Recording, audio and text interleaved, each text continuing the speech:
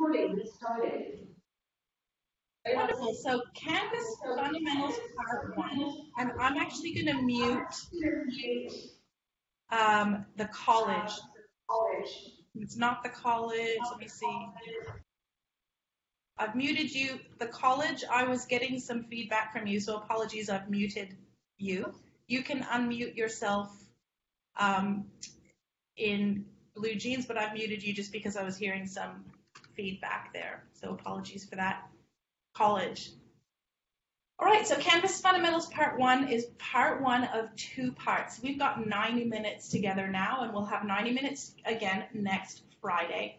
And Canvas Fundamentals Part 2, the purpose of this training is more like the teacher or instructor or the, the people who are going to use Canvas for learning purposes rather than administrative purposes.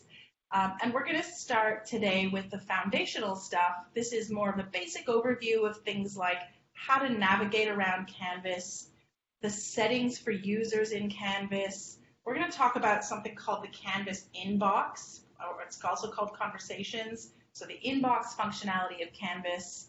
Um, and we're going to look at the, the, things like our calendar, and we're going to start look at start looking at organizing course content, uh, and we will start building course content at a very basic level, um, and we'll look at a couple of things in the if we have time for covering the home page, hopefully we will, and course settings. Now, why am I telling you this?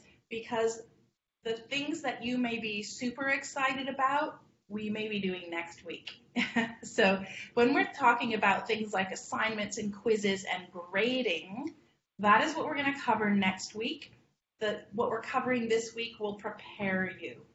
Now, can I check, um, and Neil, can I check with you, does everyone who's attending this class have a sandbox course created for them so that they can be um, either playing along with me today or practicing between now and next week?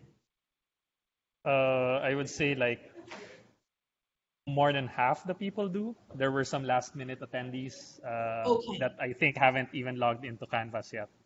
Okay, all right. So no problem. Just make sure you reach out to your CSM or your IC, your implementation consultant or your customer success manager if you want to have those people added, have, have us add those sandboxes for you. Okay. So for those of you who are wondering what I'm saying, um, one of the things that you will have available for you is what we're calling a sandbox course. And in the industry that you're in, you I don't know whether you call it a sand pit or something like that. A course, uh, there's going to be a course for you, just for you in your Canvas, where you can play, where you can experiment, and where you can try things. Those of you who already have a Canvas login, I want you to feel free if you want to log into Canvas. I can see you're all on laptops. Those of you who have a Canvas login, feel free to log into Canvas and be clicking on things in your, if you've got a sandbox course. So courses look like these course tiles here. If you've got a sandbox course or a play course, feel free to be playing in that while we're going through the content today, as well as next week.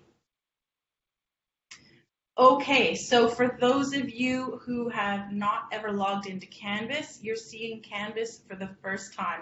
I want to share with you though, we are looking at my Canvas. We're on my browser instance, and we're not on your browser instance. So this is, we're not looking at your college or senior high school Canvas. We're looking at mine, but the things that we're going to cover are the same no matter um, which Canvas you're logging into. So we're pretending that I'm a school uh, and this is my canvas. And what we're going to do is we're going to go through, firstly, this first screen. So, by the way, can I just double check with you? When I use this little spotlight, can you see that on your screens? Thumbs up if yes. you can. Yeah, or thank you, Neil. So, we're on a screen called the dashboard. So, I've logged into the Canvas for school called D Thompson, um, and you'll have your own URL for your school. Uh, and we're on the dashboard screen, which is the first screen that any user sees when they log into Canvas. And so there's some important things to know about this screen. One of the main things we're going to do today is go through this, this, what we call the global navigation menu on the left-hand side. Okay, and we are in the, you can see that you can always come back to this dashboard screen with this navigator here on the left-hand side. A couple uh, of things. Debbie, excuse me? Yes. Yeah, can I just get a quick show of hands and who hasn't, who doesn't have an account yet from the trainings? Like, like just one, two, three. Oh, there's quite a lot. So there's like uh, six people with yeah, six people without accounts. Uh, Claire, okay. can you just send me the emails, or maybe you can create the their logins yourself for those without accounts? We'll try to get that done within the day. Yes, sir. Got it. Okay, I know, uh, and some of you are going to be really excited at the end of today and want to play in Canvas, so that's a good thing to have your your own sandbox course to play in. So in this dashboard, the first thing to point out here is these four things that we're looking at, these four squares or tiles. Each of these is a Canvas course. Okay? And um, and there it, it's easy to click into them. So you may notice a couple things. And by the way, I know you're looking at things on a big screen, but I can, if you need me to, I can easily zoom into my screen to show you things a bit closer. So you'll see here on this screen for each of these courses, um, I've got an image on, well, this one's actually a GIF, so you can use GIFs here on this course. Um, and then I've got one that just doesn't have an image on it. We're going to talk about that in a bit. You'll notice some names here. So these are course names and course codes. Um, and you'll notice this dot here. Now, some of you who are in Canvas and have a course now, you won't have this dot, but you'll have these three dots. Yours may look a bit different, and I'm just going to change my dashboard a little bit to look at what yours might look more like this. Okay? Why we've got some color coding across our courses. Why we have color coding across our courses is going to make more sense when we look at the calendar. So I'm showing you this because I want you to understand as teachers and instructors or learning technologist or faculty or whatever your role is, um, if you are a teacher or a course designer in, in a Canvas course, you have some control here you control um, the image that goes on here. So you, and I know you're a school who will be very interested in images and aesthetics as well, will you not? Uh, based on the kind of things that you do. Um, and your students, though, can each, and each individual user can control the color coding here. So these three dots here are actually related to two things. Number one is uh, this is a nickname for my course, which I can change. So I can call this my biology course and I can change the color code associated with it. So I'll just change it to this green to make some changes here. Each user can do that. And, and again, when we look at the calendar, it'll make more sense why I'm showing that to you now. There's something else I want to show you on this dashboard screen, and it's over here on the right-hand side. So we've got this to-do list, and we've got something called coming up, and we've got something called feedback here. So whether you're a teacher or a student in a course, you also will have this on your dashboard. The to-do list, what this does is it pulls pulls in from Canvas courses, all the Canvas courses that you're enrolled in, whether you're enrolled as a teacher or enrolled as a student. This is going to pull in things that you should be doing, like um, I'm, I'm currently uh, a teacher. I'm, as a teacher here, I've got things that I should grade because there's submissions. I've got three submissions for this assignment that I need to grade. I've got one submission for this assignment to grade. I've got one submission for this assignment to grade. Students are going to see their assignments that are about to be due. This coming up section is a short list of what's coming up in the next seven days in the Canvas calendar, which we're going to look at.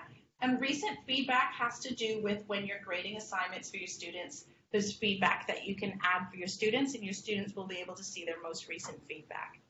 So all of that on a dashboard screen, the very first screen we see when we log into Canvas. What I want to show you next is this courses, this little courses um, area in the global navigation bar. And you'll notice here, while I've got four courses on my dashboard screen, I'm going to click on courses, when I choose this, I actually have more than four courses that I'm enrolled in. So you can see I've got uh, probably about 15 courses in here. And the way I get them to show up on my dashboard screen or remove them from my dashboard screen is with this star is like a favoriting thing. So I could have courses appear or not appear on my dashboard screen based on whether I favorite them or not. Yeah? I also want to point out this here. So I'm going to go into this enrolled as, uh, and I want you to notice that while in most courses I'm a teacher, there's actually a course where I'm a, I'm a student. So what Canvas does, Canvas lets um, Canvas lets you be enrolled in a course with different types of roles. Why might teachers be a student in a course? Well, um, the college or the senior high school might choose to have um, internal professional development courses placed in Canvas, and you, and as faculty, may be a student in one of those courses. So you may find yourself a teacher in some courses and a student in others. Does that make sense? Yeah, yeah, that uh, also happens to us. Yes. Okay. Like uh, for some teachers, uh, choose to enroll in short courses that we also hold. Yes. Exactly. So you can have all of it, that in one place with Canvas, where the courses that you teach and the courses that you attend can all be in the one portal. Any questions so far? I'm about to look at the account next. Any questions so far on that? No? Okay. And I did mute, let me see, I did mute the college. I can't see you, the college, right now. Um, I can, I'm only seeing one person at a time. I can see the senior high school now. But the college, I can't see. I'm going to unmute you for a second. College, are we all good? College? Thumbs up. Thank you. I've muted you again. okay, so I'm going to go into this account here. And this account is a Canvas account. So you can see here um, that I've clicked on that and I've got a little sub menu that opens up. Now, I've also got a profile photo um, and here is a name. Now, just because I'm a teacher, just because you're a teacher, let's say, doesn't mean you're going to have the word teacher here. I just want to let you know I've entered in this account my name as Debbie Thompson Teacher because I also have a separate account as a student. So that is just for me to keep it straight. You will see your name here, okay? And your students as well have an account. So what we're going to do is we're going to look at a, couple of the key settings in accounts that I think you should know right at the start of your Canvas experience, and perhaps your students should know as well. So I'm going to click on settings. Those of you who, who like to play along um, and have a canvas, your canvas open, feel free to be in your account and be looking at your settings at the same time as I'm showing you this. So here we are in my, my settings screen. And as I said, there's a couple of things I want to point out to you. So we have things in here that you would expect in settings like name, um, language, time zone. Okay, some of these things are editable. I have an edit settings button here on which you can see in my canvas, I can actually change my language and my time zone. In this case, I can change my password as well from here. So that's a little bit of a standard thing that you would see in settings. One of the things I would definitely like to point out to you is this ways to contact, which is on the right hand side, because this is often misunderstood as being this is how I'm going to tell my students to contact me. That is not what ways to contact is for in settings. Ways to contact, this is connected to um, Canvas's ability to notify you of things. And we're going to look at notification settings in a moment. What this does is there's different um, trigger notification triggers and this ways to contact is what are the different ways that Canvas can notify me? Canvas the system. Okay, so this is not where your students find your email address or your phone number. By default, you'll have a way, an email address in here already because when your account, those of you who have Canvas accounts, um, when your Canvas account was created, an email address will have been part of that account creation. And so it's going to be your school email address, I'm assuming. You're more than welcome to add additional email addresses. Now I'm going to need to zoom out a little bit for this. I'm going to click email address here. So you can add additional email address. Uh, why? Because you'll notice when we talk about notifications in a second, uh, there are different things that happen in Canvas that you may want to be notified via email about, and perhaps you'd like to be notified to an email address other than your school email. Okay. You also have the ability here to put in a, a mobile number, so a cell phone number, and you would be able to put in your phone number and get SMS notifications, so text message notifications. Your students can do this as well. So another way to be notified, so we've got emails and mobile numbers so far. You can also be notified by Twitter. For those of you who use Twitter, Canvas can direct message you in Twitter and private message you in Twitter. And Canvas also can push to devices. So Canvas, there are Canvas apps. There's a teacher app, there's a student app, and there's what we call a parent or observer app. And Canvas can also send push notifications to the app. So ways to contact is in relation to the notifications we're about to look at. Before we look at the notifications, the reason I can have my Twitter, uh, my Twitter as um, contactable by Canvas is because I've connected my Twitter account to Canvas. So I've chosen to connect Twitter to Canvas. I could also connect my Google Drive, Skype, or LinkedIn to Canvas. Google Drive, this is these are not for these are not for notification purposes. This is just so that you can access your Google Drive from Canvas. Skype allow Skype and LinkedIn allow you to put your Skype address and your LinkedIn address um, up for students in your profile. So this ways to contact is going to make a little, little bit more sense when we look now at this notifications option. So I've just clicked on notifications. Those of you who are using your own laptops and wanting to do that, this is where I've clicked notifications. And here's where we see the three uh, the three options I had. So this is my email address from Ways to Contact. This is my Twitter handle from Ways to Contact. And there's my push notifications. So this notifications allows me to take different triggers in Canvas and dictate whether I'd like to be notified outside of Canvas about these things. For example, let's look at the, the first one, which is due date. Now you may have noticed when I hovered my mouse over due date, I got a little bit more information. So the trigger for this notification is an assignment due date change. So an assignment exists and the due date on that has changed. So I can choose whether I'd like to be notified about this via email, via Twitter, or via push notification. And I have, I can choose between four timing options. I'd like to be notified right away. I'd like to be notified by a daily summary. I'd like to be notified by a weekly summary, or do not notify me about this at all. So you can see for a due date change, I have said, Canvas, do not email me. I don't need to know by email about this due date change and I don't need to know by Twitter, and I don't need to know. So Canvas, do not notify me at all when a due date changes in the course.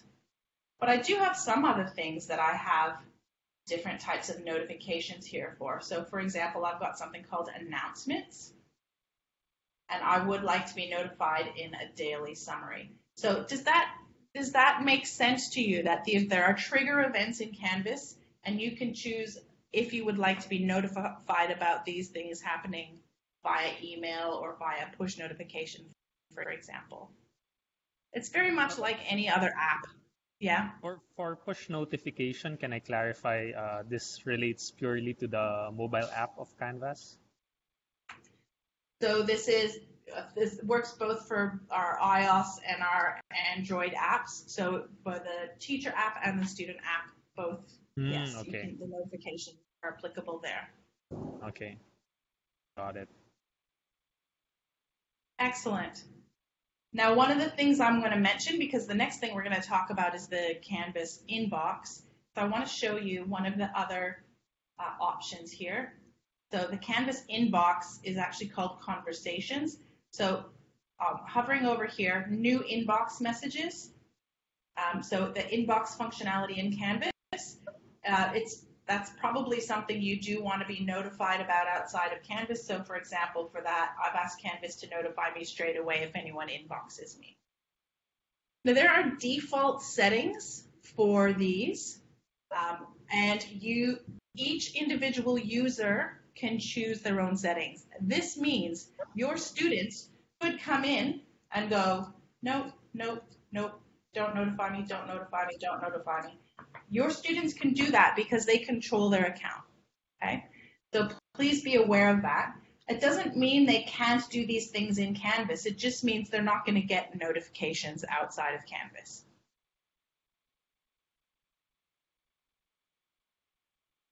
Any questions on that before I move to the Canvas inbox?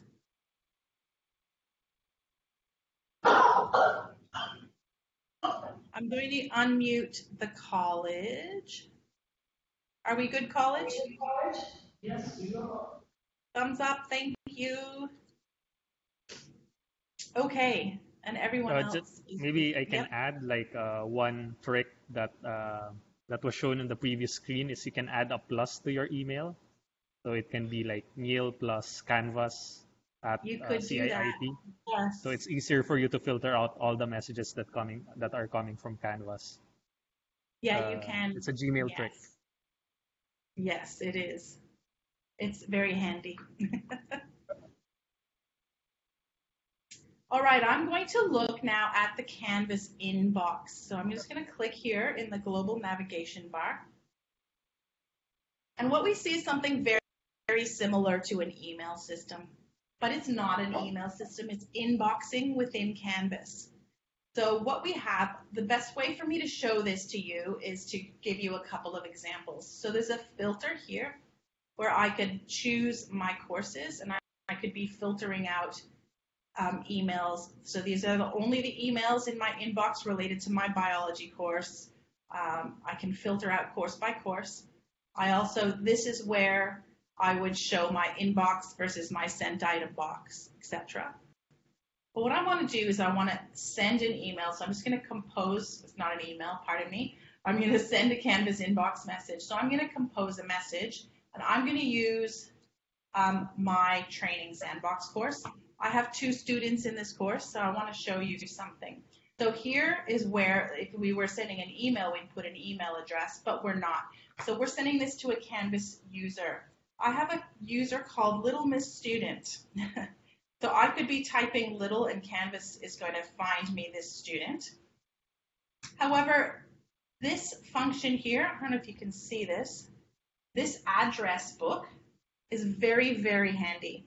I'm going to click on this address book and you'll see that Canvas is offering me who would you like to send this inbox message to? To everybody who's enrolled in this course, no matter what their role is, to the teachers in this course, to the students in this course, to the observer, observers in this course. Um, uh, there's, there's a concept of sections where you can have kind of administrative cohorts within in your course. Um, that's a little bit more advanced for today. But let's say I want to send a message to the students of my course. I'm just going to click students and I will see the list of my students. And I mentioned to you, I only have two students in my course. So I can send to individual students or I can say, can you please send this to all students in my course? So in other words, this is almost like a distribution list, what we would consider a distribution list in an email. And what it's doing is it's reading the enrollments in this course. So it's very handy. Um, so in the subject line, let's put, um, please remember to um, to bring bring your um, I don't know. Please remember. Oh wait, please remember tomorrow is a holiday. it's a school holiday. Let's do that. So maybe we want to say to our students, please remember tomorrow is a school holiday. there's a there's a little function here I want to point out to you. Send individual message to each recipient. What this does is this is going to send this inbox message to all these students, but it's going to um, like blind CC.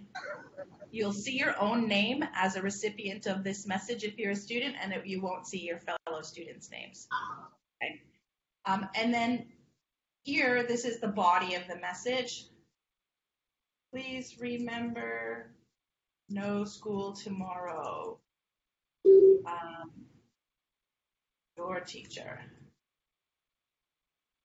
Now, like any any like you would expect in a, an email system, we can attach a file here. But here's something that I, I really like. This button down here is to record an audio or a video media message. Now this does use Flash. Do you allow Flash?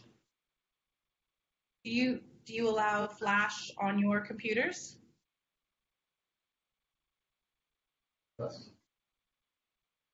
you use Flash? Are you do you allow Flash or do you block Flash? I don't think so. Yes, no. Yes. Ah, yeah. Okay, yeah. You use Flash? So. Yes? Okay. If you if it so happens that you don't use Flash, I want to let you know that this functionality also works on the teacher app and the student app, and it doesn't use Flash. I know that some organizations block Flash, so that's why I'm asking. Um, and so if you don't, if you if you find that you can't use Flash, you can do the same function on the app with the same result, and it won't use Flash. So I'm going to do this, and I want to show you this. This is kind of cool. So I'm gonna I'm gonna allow Flash here. And what this is doing is built into Canvas, I've got two cameras going at the moment. Um, so let me use my USB camera. Hello again. So I could be right here in a message saying, hello students, please remember that we don't have school tomorrow. Hello students, please remember. So I can save that and have a media comment in my message to my students. Now I'm, I'm spending a little time showing this to you now because this won't be the only place that you can easily record audio or video media in Canvas. There's multiple places where you'll be able to use this very same functionality. If you did not want to record media because you have a video pre-prepared elsewhere, you also can upload an audio or a video file. Now, I know that when um, when when we bring technology into school, I mean, this is technology is something that is natural for you with your um, college. Uh, that sometimes we want to make sure we we still have things very personal, and this function to allow audio or video messaging allows you to still have a personal touch when you're having an electronic message to your students. So my students would get that message now, okay? Um, and my students would each have an entry in their inbox now. So they would see an entry in their inbox. They would see visually like a number one here.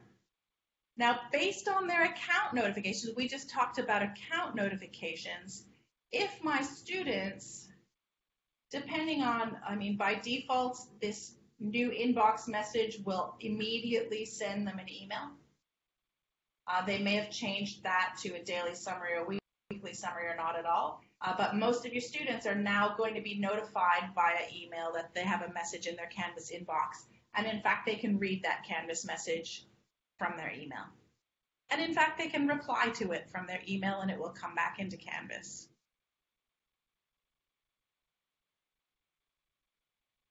In this, pardon me, I just went to the calendar instead of the inbox. So in Canvas inbox as well, you have search functionality here, so you can search for messages that you've written for as well. Any questions on, I mean, that's a very quick preview of the inbox in Canvas. Any questions on that? I'm going to college unmute you again. Any questions on that at all? All good? All good.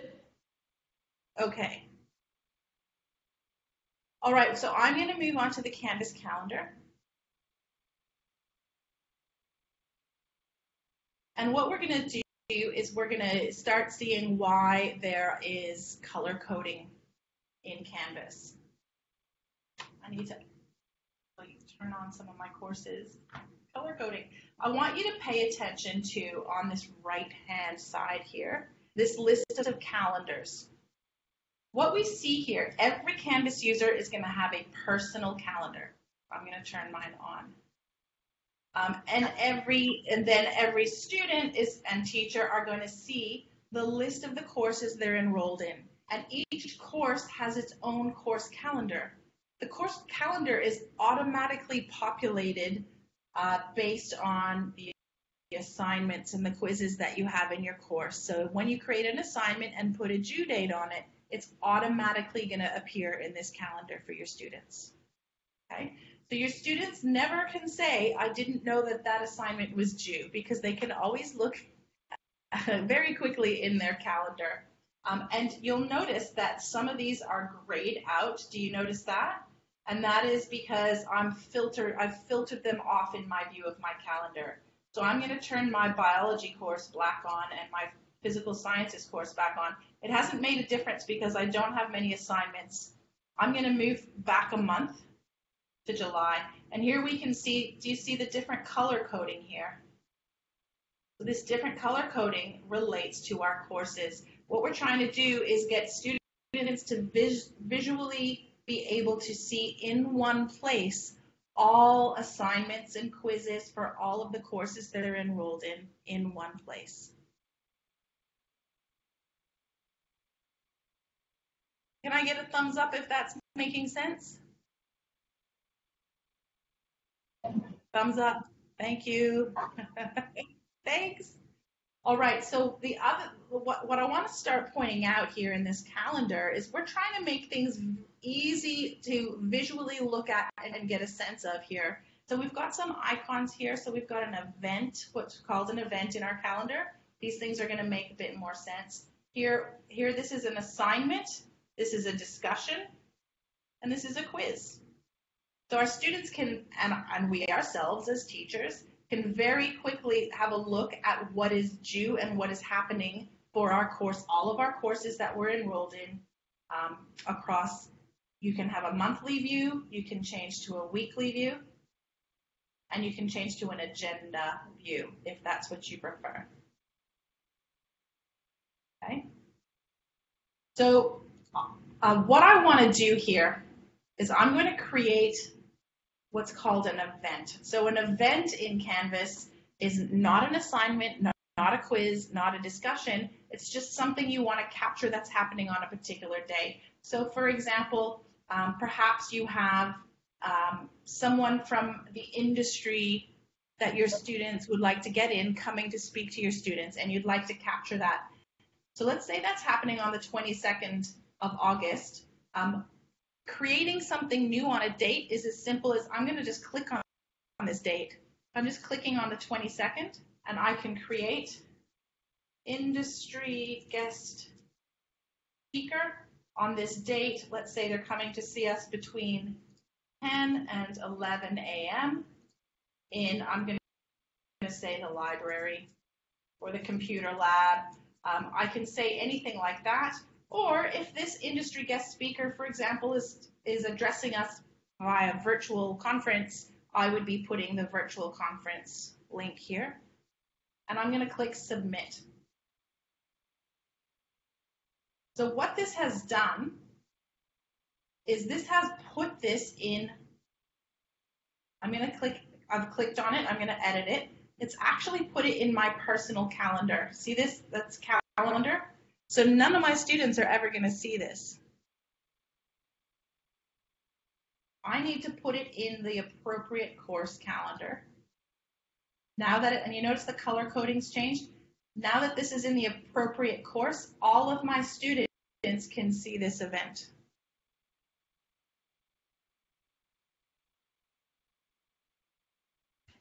Um, Debbie, this might I'm be just checking topic. in the chat box. Yep. Uh, but um, can teachers add students to their own class, or uh, the admin has to do it for them? Well, that's going to depend on your setup. So Mm, okay, who asked so it's that? possible. Neil, was that you asking the question? Yeah, yeah, yeah. My cam's off. I'm Yeah. eating. Yeah, that's okay. So yes, teachers, the the function exists for teachers to add students to their class. Absolutely. Are you going to connect to a student management system of some sort? Um, it's mixed because the college has a student management system, but the high school doesn't have one. So Okay, for college, in it's the- easy to upload everything. For high Okay. school, it might be uh, challenging at this time to like uh, Okay. add it from an admin perspective. So I'm not I'm not sure yet. Yeah, that's okay. What I'm going to suggest, and so I'm going to say you can do it either way. And what I'm going to suggest is, would you remind me, please, Neil, who your customer success manager is? Who are you working with here Um, one is Amelia and one is Daniel. So there's Yeah. like two people they alternate. Okay, perfect. Well, either of them, um, particularly Daniel, can probably help you uh, with that. You can connect to Assist and you can let your teachers add students to classes as well. So Okay, both are it. possible. Check with one or the other of them and to help, they'll help you come up with a strategy and an approach for that. Got it. Thanks. No problem. What I'm going to do is I'm going to jump into this event that we've just created. So I'm going to click on it and I'm going to click edit. And I'm going to go to this more options. Almost every time you see something that says more options, that's where the cool stuff is. Anything that says more options. And I want you to really pay attention to this screen right now. So because I'm showing you something right now, which is very, you're going to see all across Canvas. So can you see this menu, this toolbar here? Does it remind you of anything? Where have you seen something like this before? Google Could Docs. it be in things? Yeah, Google Docs, Microsoft Word. It is it is a toolbar with that kind of um, editing formatting and some other cool stuff as well, which we're going to take a quick look at. And I want you to pay attention up here too on the right hand side. So what we're looking at here is called the rich content editor. We're going to create a little bit of more content in our event. The reason we're going to do that is because what I'm going to show you here in events is just as applicable to creating content or wiki pages.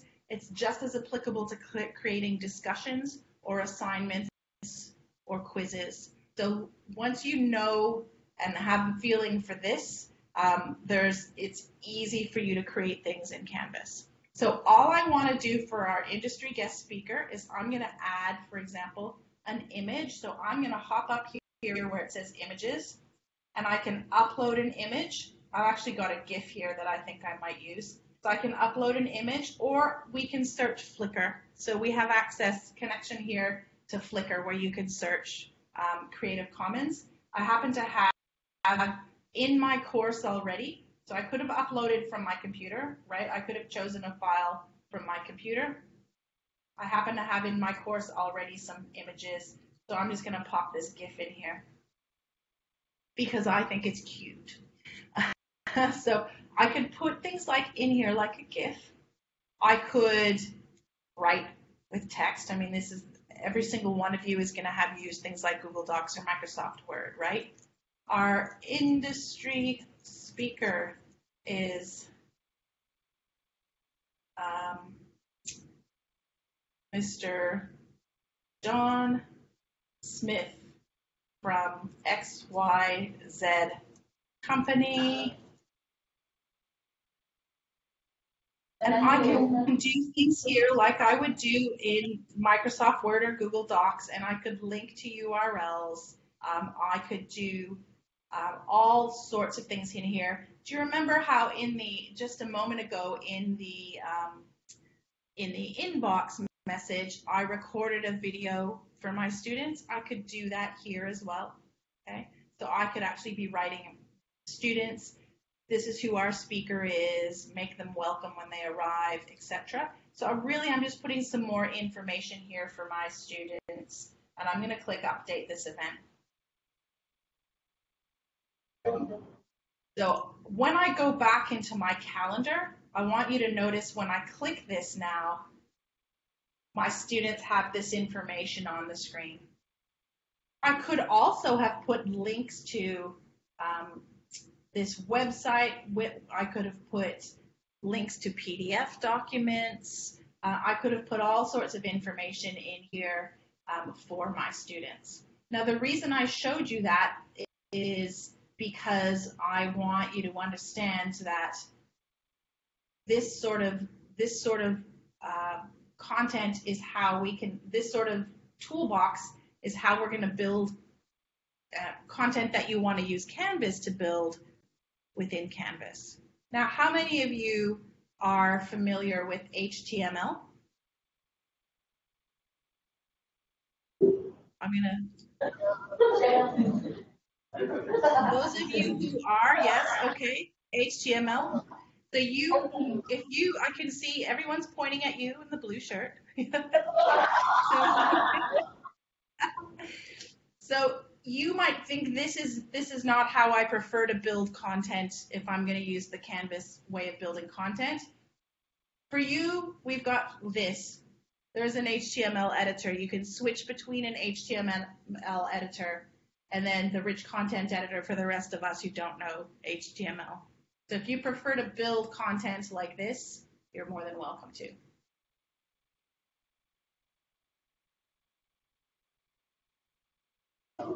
So just a quick summary here for the calendar. Uh, we can, our, our students and we ourselves will see all of the courses we're enrolled in and we can view what's happening and what's due in our course. These will populate automatically from your course content. You don't need to come in here and put all your assignments and discussions here. They will populate automatically. And I also want to point out this calendar feed link that you and your students can have. Some of you will have a Google Calendar or an Outlook calendar that you use as a master calendar, and you can you can feed your Canvas calendar into an external calendar. Okay? So that can happen too. Any comments or thoughts on the calendar before I briefly talk about both Commons and our help screen? College, I'm unmuting you again. Yeah. Everybody's okay? Yeah. Okay, good. So remember, this is foundational stuff. Do I need to unmute you again, College? Was there going to be a comment? Okay. So, so this is foundational stuff. Um, I know for some of you this is probably very basic, and for some of you this is good learning. So I hope everybody's getting something out of this. I'm going to talk now about these two items here, commons and help. Um, I'm not going to talk a lot about commons, but I want to tell you what it is. Commons is like a shared repository of course materials for you at your um, organization, at your school. So for example, and particularly we're going to talk a bit more next week about things like quizzes and assignments and discussions you may create a wonderful quiz in Canvas and you think, I'd like my colleagues to have access to this quiz because perhaps they'd like to use it in their course. Then you can take that quiz and share it to this commons area and your colleagues can put that quiz in their course. So you can collaborate, um, you can you can create content that you share with your colleagues. Okay, this, so you can put things in the commons like you can put a whole course in commons or you can put a really cool quiz that your your colleague in the same faculty would love to use in their course too. So sharing your content with other people is easy in Canvas. I want to talk about this help menu right now. Everybody has this help menu, you and your students alike. Now your help menu might look a little bit different from mine, and it is actually customizable. So Neil, that's something that Daniel will probably cover with you as well. Um, and you'll also learn about, about it. Uh, about the commons. Mm-hmm. So if, for example, um, there's six sections and two teachers covering the same subject, would it make sense to have like uh, two teachers on the same course, or would it make sense? Uh, would it be better that the teacher just share the course in commons and they have separate courses? Um, both strategies can work. So there's different ways, Neil, that you can do it. So if you, for example, have, um, let's say you have one teacher doing a, a course and they have two cohorts, so students that meet with them every Monday and the same course delivered to students that meet with them every Wednesday. Does that happen for you? Uh, yes. Yeah. Yes.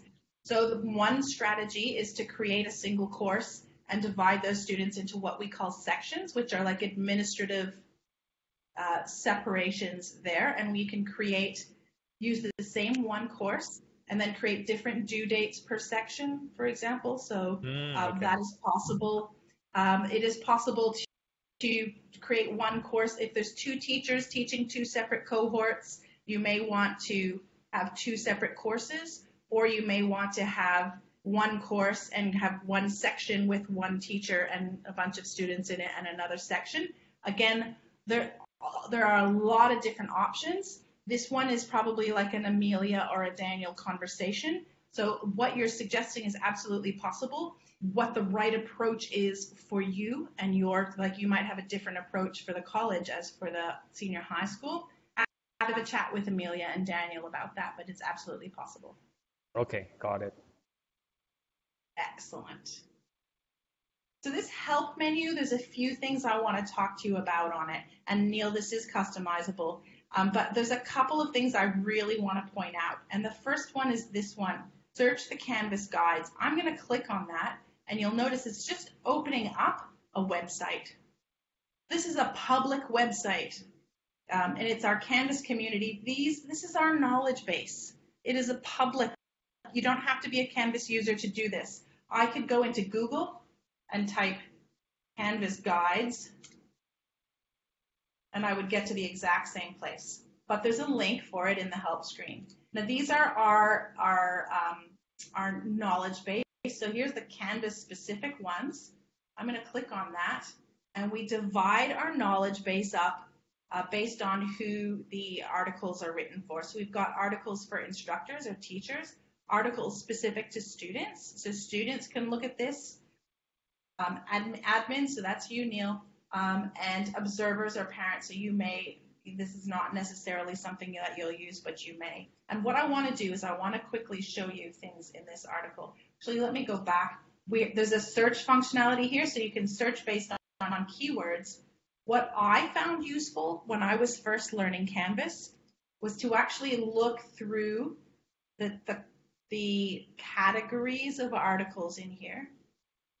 And for each of these categories, like for introduction, which is good to read, um, there's a bunch of knowledge-based articles related to that. So let's say I'm looking, creating a quiz.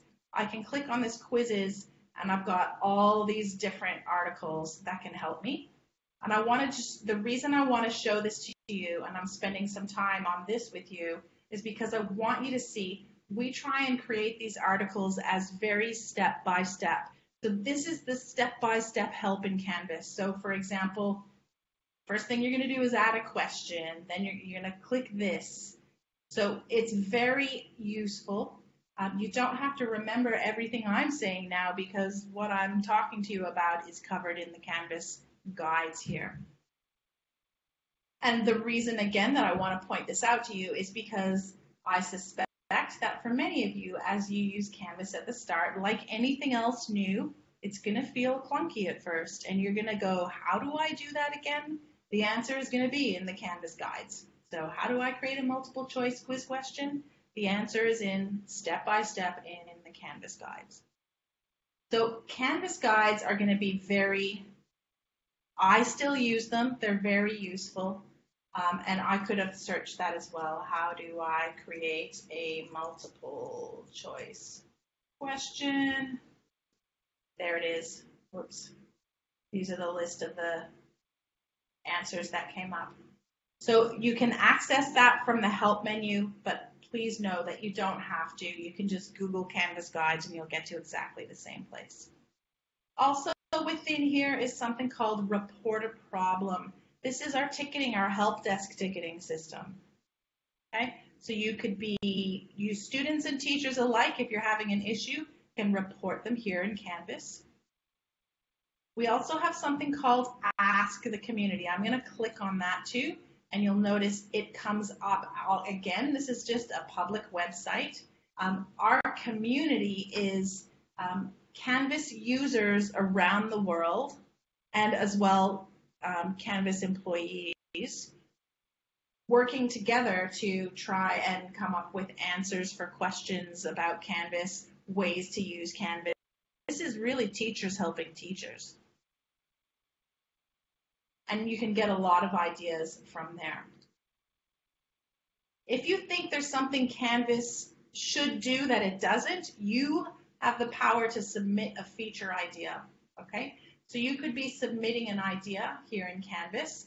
Um, when we develop Canvas, um, a lot of it, a lot, well, it pretty much all comes from what our clients need. So we find out what you need when you submit a feature idea.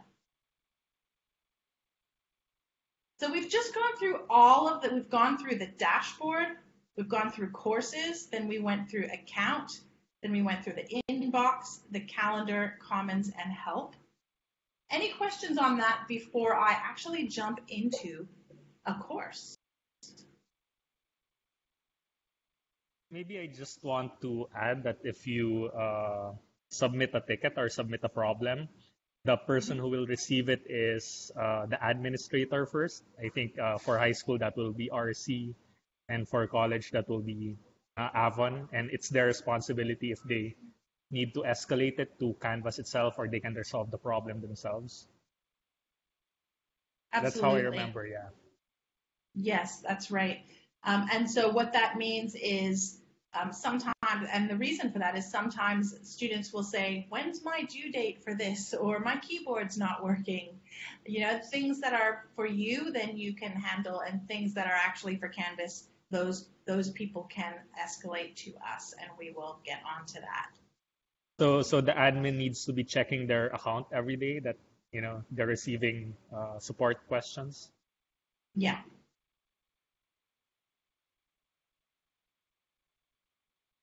Awesome. I'm going to jump into a course. I'm going to go back to my dashboard. Neil, uh, is everybody who's attending today, will they be creating content or just delivering content or both?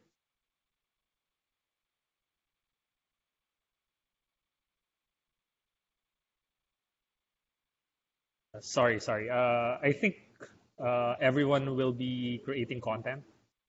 Almost okay. everyone. Okay, brilliant. And will everyone also be like delivering class, to teaching classes? Um, except for like a few people, admins here and there. Uh, yes. Okay.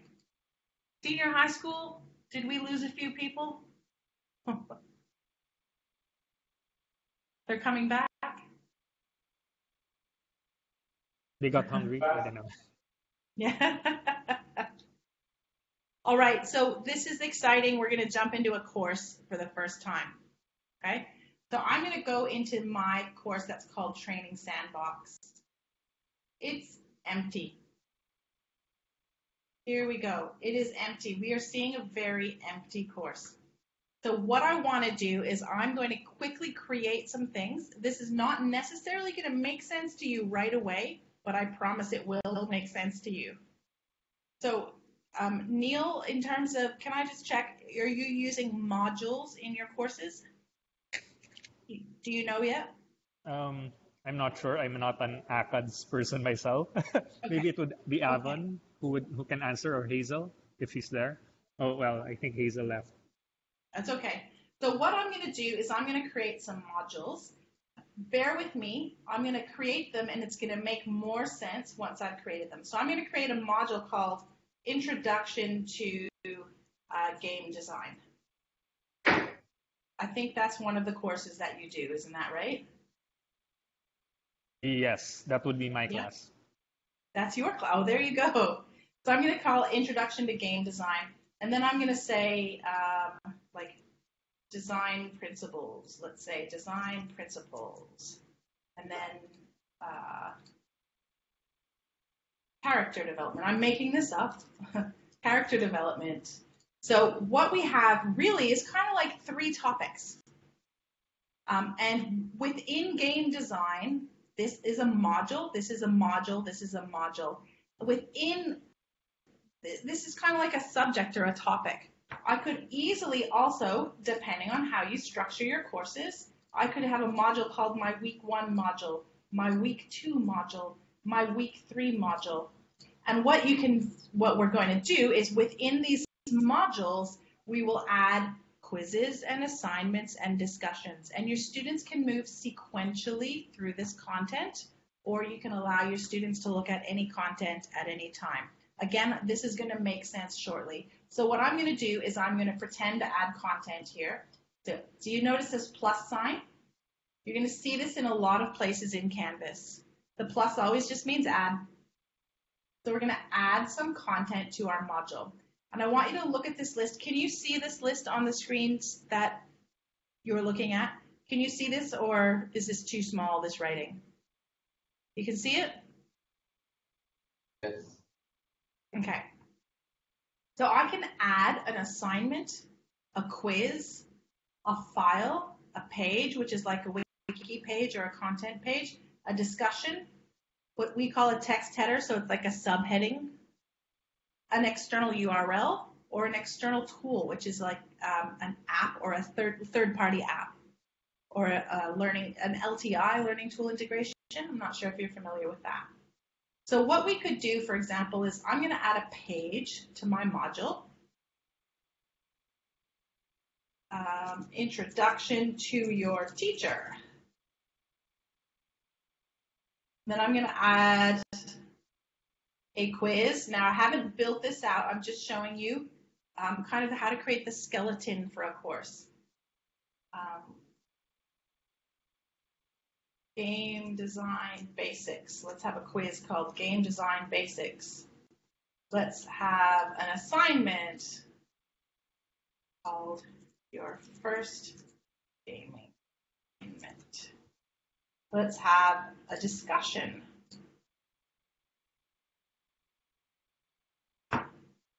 Gaming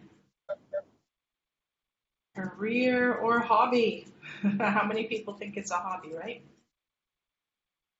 So what I'm doing without actually building in, like building in the assignment, building in the quiz, building it out, I'm starting to put some structure around this module. So you all already teach courses. You already have content that you teach.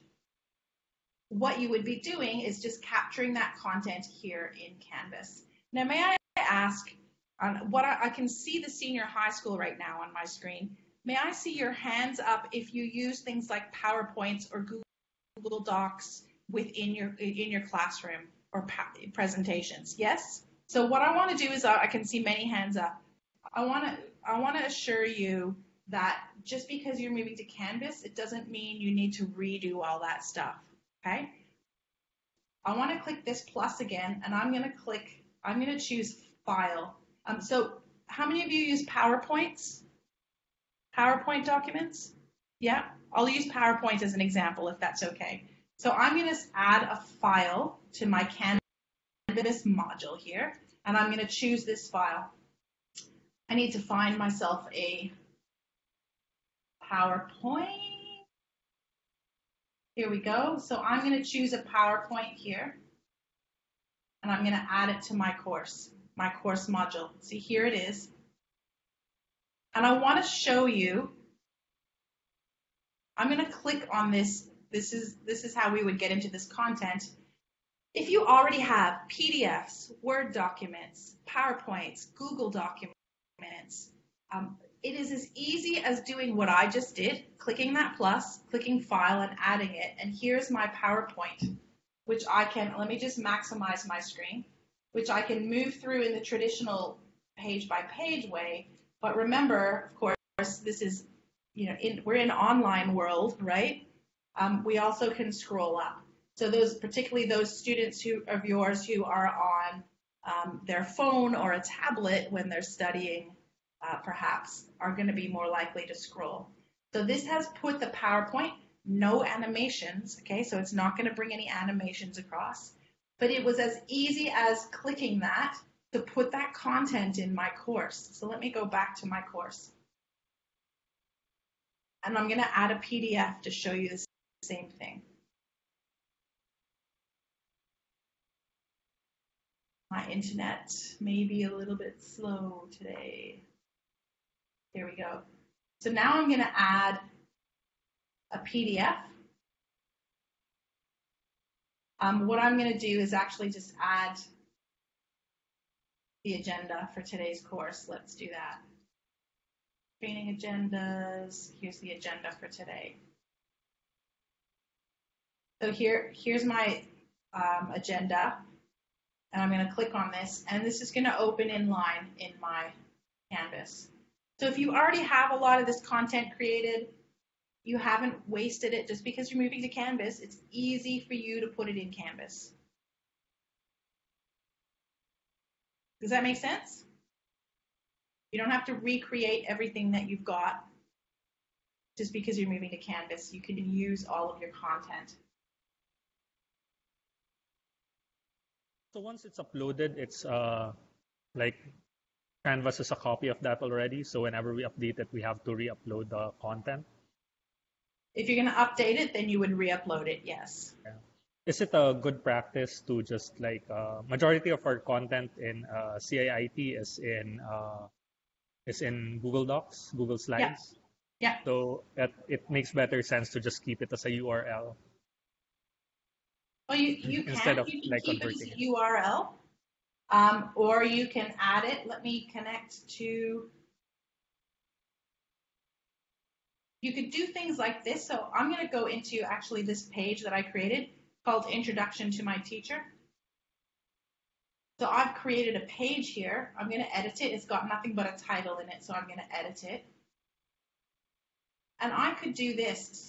So I'm in, notice this rich Mm. content editor is exactly the same as when we were in the event. Okay. Um, here's my, I've got Google Apps connected to my Canvas. So I could actually just go into my Google Drive.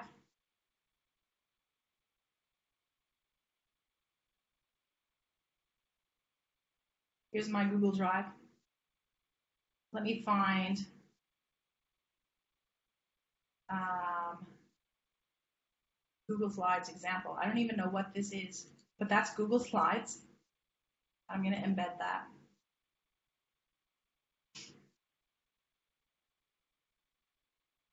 And I need to, I need to authorize it.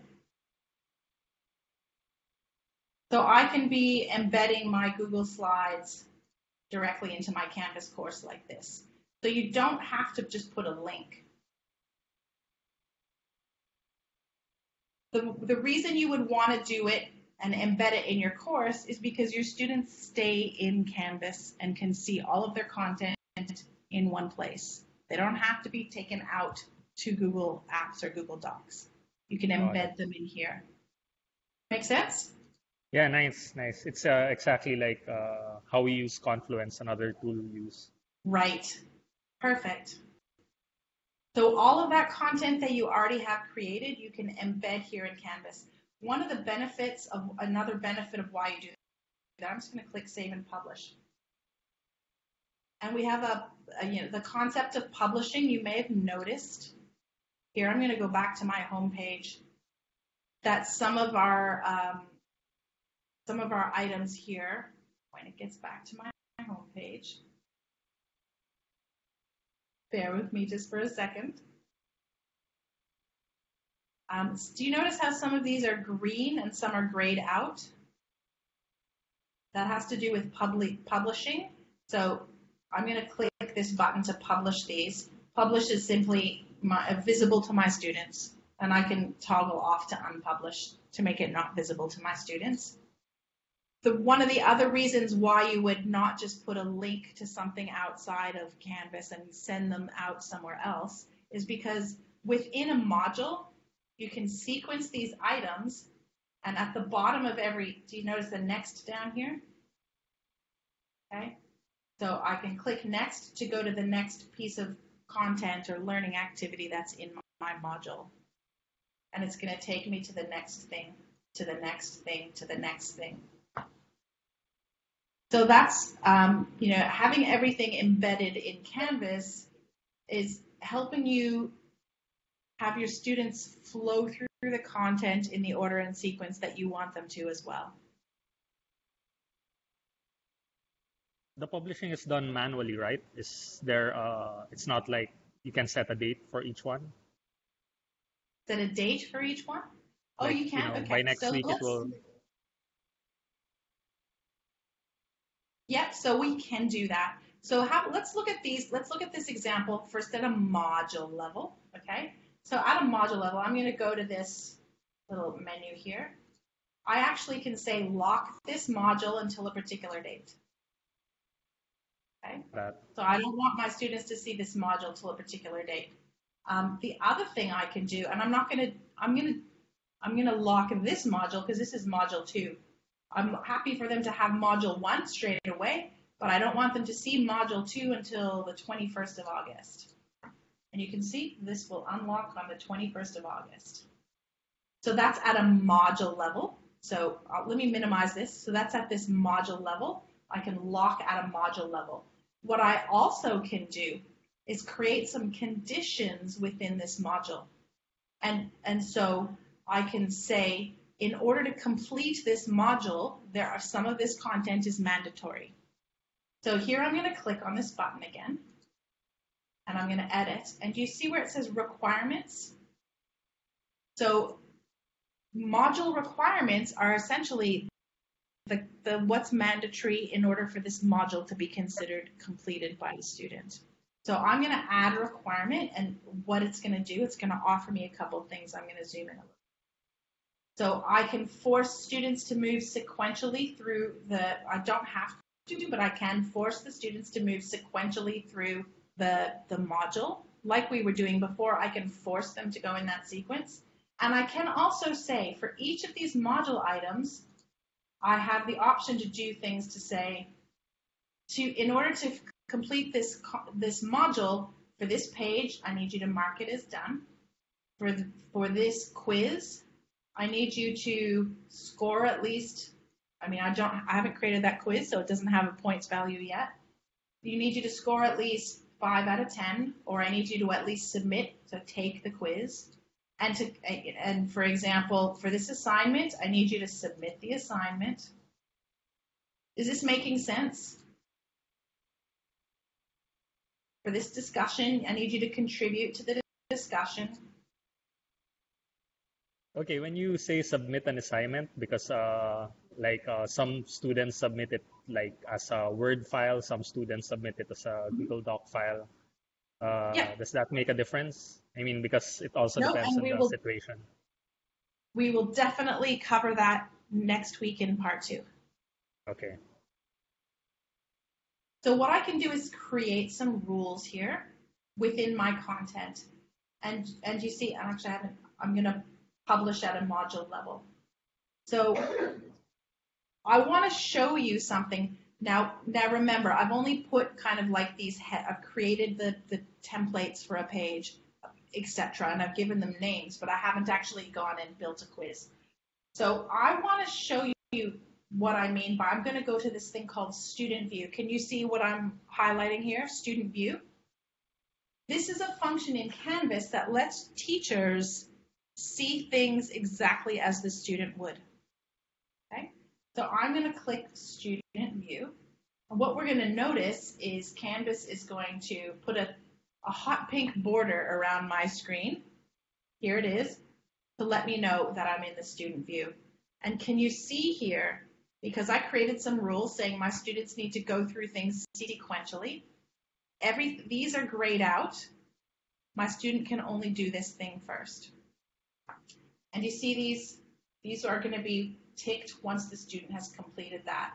So you can control the flow of your students through modules. You don't have to, but you can control the flow of your students through modules. And your students will, will be able to um, see how far they've gone in a module as well. So introduction to your teacher, I've asked students to view this. I mean, I've put something in there because I haven't general, you know, this is not going to work in my student, I'm in a student view, so I'm not going to be able to authorize to this. This is just a student view functionality. But I'm going to click next. Once I viewed this, this unlocks the next thing. I would need to take this quiz and get a particular score, for example, um, to move on. Does that make sense?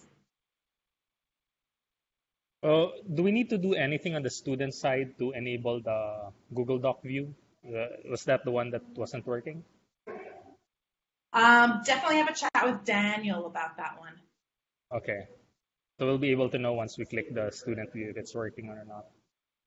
No, student view student view is not going to work with Google Docs. That's it's just um because it's looking to authorize to Google, and I'm using us the student view. Um, it, Daniel will be able to explain it to you better than I will. The Google Docs integration. Okay. So what we're doing in these modules is we are essentially creating topics or and however you divide your course up now into chunks of information or chunks of lessons is how you'll create each of you will create your modules. And then you'll put content quizzes assignments etc in here. And we will cover what to do in those things in con- in discussions assignments quizzes when we do part 2 next week now there's a couple of other things that I want to show you. We have 15 minutes left together. I'm just going to double check with the college if we're all good. So let's see. College, are we all good? Are we still getting a thumbs up, college, or do you have any questions? Yes, like online Thank you. Okay. And I'm assuming I'm assuming high school because you're not muted that you'll be able to ask me questions if you need to. Or you can type in the chat box. I actually can't hear anything from the high school. I wonder if you can talk to me. If not, whoever's controlling um, the Blue Jeans login can type in the chat box.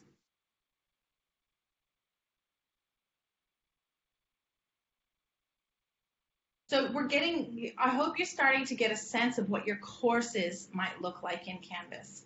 Now, uh, one thing that I mentioned to you is um, when we were on the dashboard, do you remember that I had images or GIFs in my courses, in my course on the dashboard? Let's go back to the dashboard.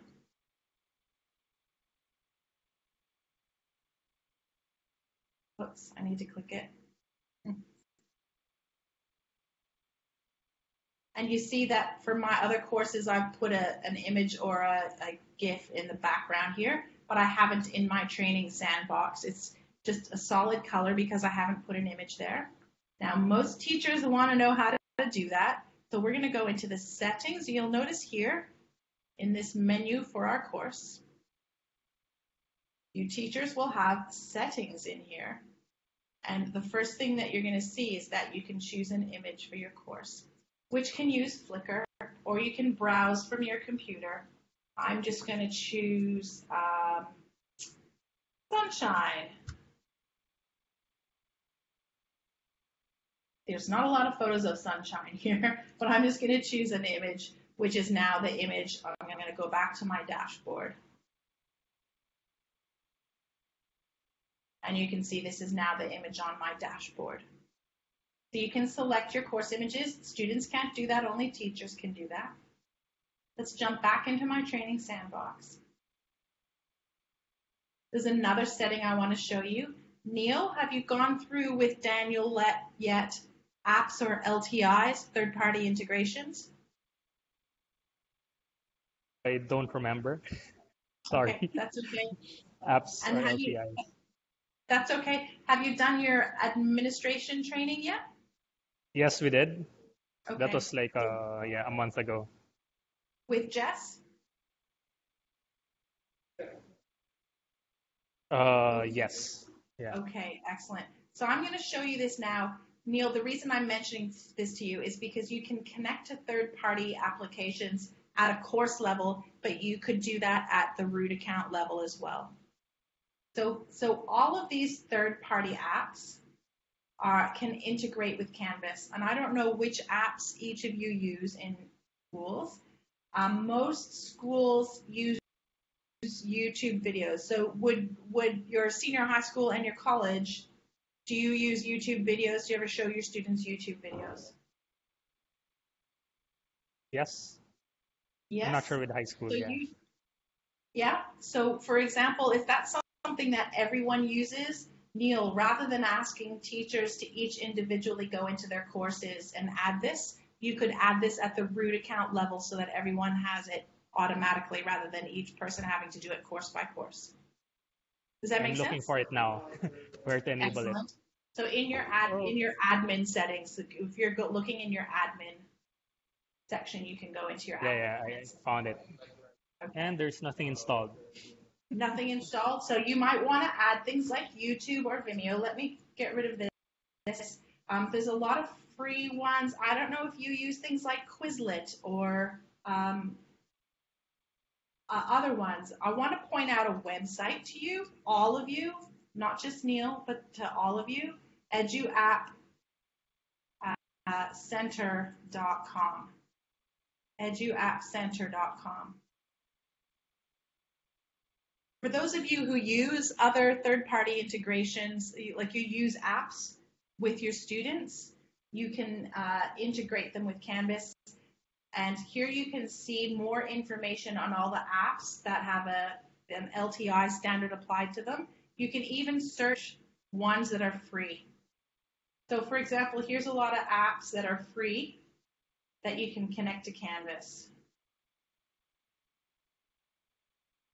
So uh, what I'll do uh, for the teachers is I'll install by default YouTube and Google. Does it Google Docs? Does it need to be installed? Yeah, Google YouTube, Drive. Google, you might want to do Vimeo. Yeah. So Um, I'll I'll install it. Yeah, on an admin level. So if any teacher wants to have uh, anything added by default, uh, just send me a message. They can do that Yes. through If, if Canvas. they could do that, that would be great. Because once that you know, and you might be thinking, well, why does that matter to me? Because let's look at a page. I just created an introduction to your teacher where I didn't put any content, but I want you to see here. So here I'm going to see my Google Apps. Here I can see my I've got Microsoft Office 365, and then this is a drop down arrow for other third party integrations. Okay, so let me actually, rem- I'm going to delete this um, Google Doc. And I could click YouTube here. So those of you who use YouTube, definitely if you use YouTube, you should be looking at the screen right now because this is going to be really useful to you. So I've clicked on YouTube and I'm going to type, I like typing funny cats. I could be searching for the YouTube videos that I show my students and I can embed them directly into Canvas. So I've just embedded this into a Canvas page. Let me save that. Why do I want to embed it? Because it means the students are not taken out to YouTube to watch this, and this strips away any ads. So now your students can watch their YouTube videos in Canvas and not be distracted by being taken out to YouTube. So the reason I can do that is because of those third-party integrations or those apps. So those of you who have um, any apps or other pieces of software that you use with your students, maybe you need to talk to Neil and see if you mm-hmm. can get them added to your Canvas. All of you can look at what's available when you're in any course in your settings. You'll see an apps here.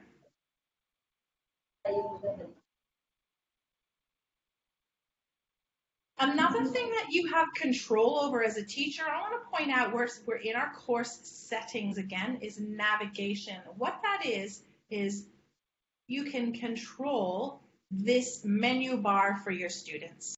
So your students don't have to see everything in this menu bar. You may want to control what they can see. And in fact, Canvas is telling me what my students can see. The, other than settings, the ones that are black are the ones that my students will see. The ones that are grayed out, I've hidden from my students. So I am I am limiting, I'm simplifying navigation for my students. If I don't use, um, if I don't use, if I don't want them to see directly all the pages in Canvas, I, I can hide that from them. I can hide this. This is just a list of all their assignments in Canvas. I can hide that from them. Okay. Because why would you hide them that from them? Because perhaps you'd like to limit them to sequencing through the course via the course modules. This, I promise you, this will make more sense as you, you know, as you play in your Canvas sandbox courses. I'm well aware that hearing someone talking about something and doing it yourself are two very different things. The final thing I want to talk to you about is what's called the homepage for your course. By default, and the homepage for your course, when a student enters the course from the dashboard, so I'm going to go back to my dashboard and I'm going to click on a course, the first thing I see is the homepage. Now, particularly those of you who are in senior high school might want to look at this here because by default, the course homepage is modules, but I want you to see some examples of other pages. Okay, so here's a course homepage. It just uses the content page or the wiki page in Canvas. And this is a course for biology. You see how that can be built? We've got some tables, some images. Images can be clickable links, by the way, in Canvas. So we've got some, this is an example of a home page. Uh, this is just to give you some ideas, okay? Here's another example. I, I thank you so much for paying attention on a Friday afternoon, by the way.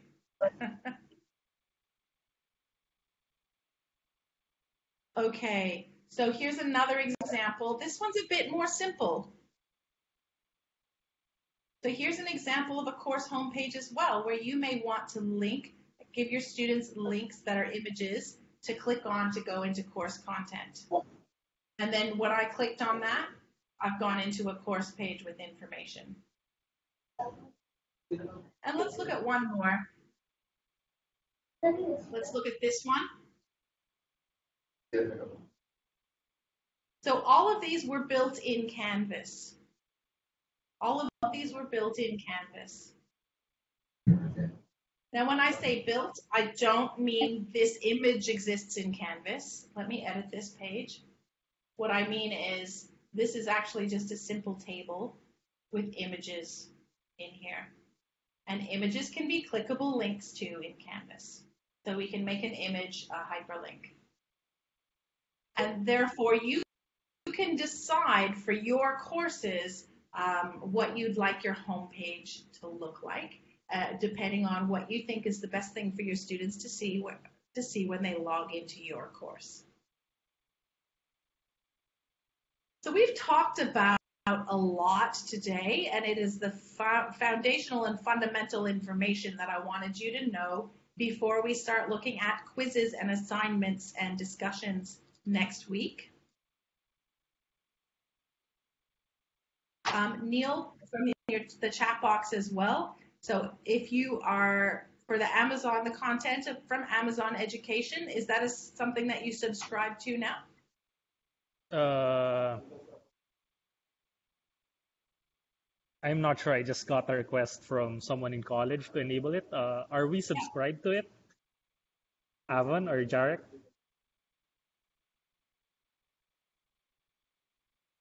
Uh, they're muted. They might, they might, I've got them muted. Let me unmute them, sorry. Let me unmute them. College, you're un, whoops. Uh, you've muted yourself, College. I can't unmute you because you've muted yourself. Okay, uh, we'll figure out later. Okay, so I'm That's not sure okay. if we're and subscribed. in the chat box.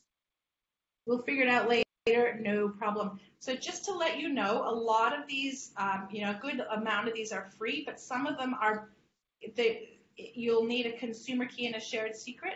And that if you already subscribe to these services, then you just have to ask Amazon Education for this information. And you might think, well, how do I ask them? Do you see this button? You can see information here. How to install it. Um, for support, you would go to this link, etc. Yeah. So if you already subscribe to it, you can get the configuration from them. I got it. I'm not, I'm not sure if we're subscribed. So if it's something okay. we pay, I haven't seen it in the budget. So yeah.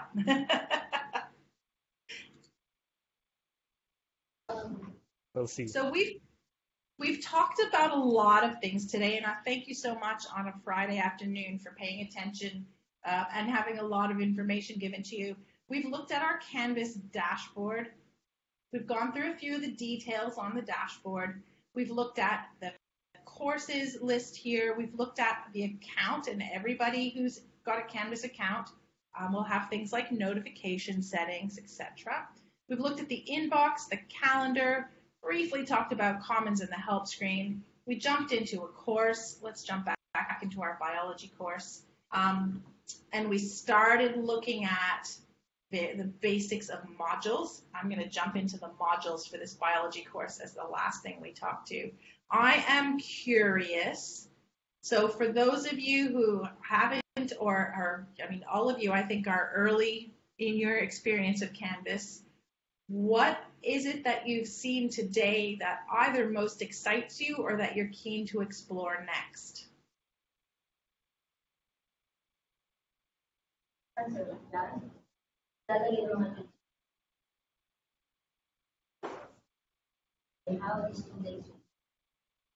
Or is there a favorite thing you've seen? Like, I'm so happy I can put my Google Slides right in Canvas, or I'm happy to use YouTube, or um, I'm excited about creating a homepage.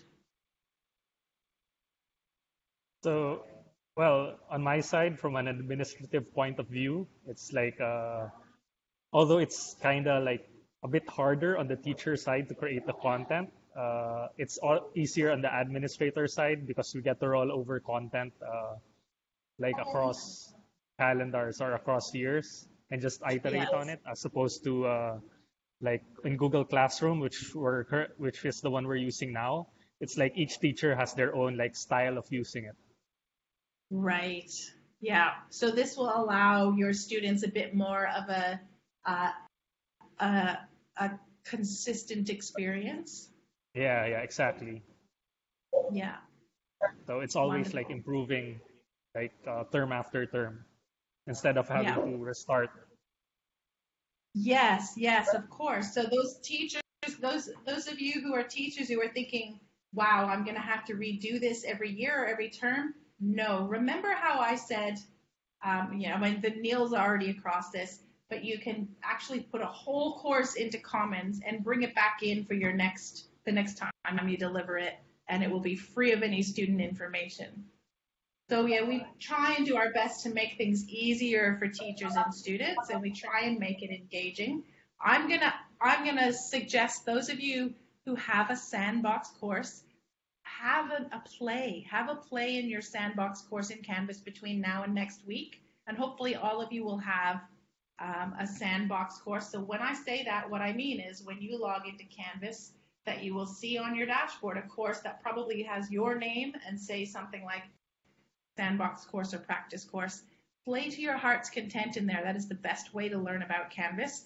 I'm hoping that at the very least today that some of you are excited about this and are keen to learn. Uh, and I'm really excited to share more with you in, in a week's time. Thank you so much for yeah. coming today.